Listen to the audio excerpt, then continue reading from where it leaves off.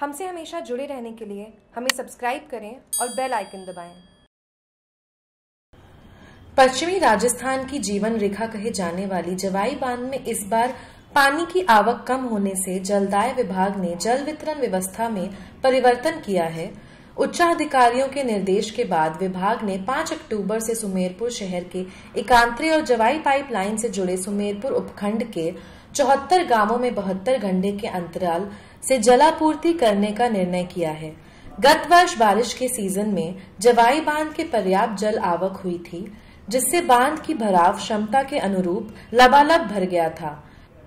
जुलाई महीने में जवाई के गेट खोलने पड़े थे, जो अक्टूबर महीने तक कभी कम तो कभी अधिक मात्रा में खुले रहे। इसके बावजूद जवाई बाँध का जलस्तर कुल भराव क्षमता इकसठ दशमलव पच्चीस फीट के साथ सात हज़ार तीन सौ सत्ताईस दशमलव पच्चीस एम सी एफ़ टी जल उपलब्धता के साथ स्थिर रहा।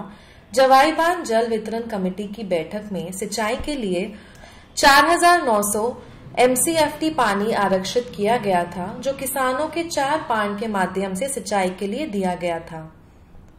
सुमेरपुर से जागरूक टीवी की रिपोर्ट।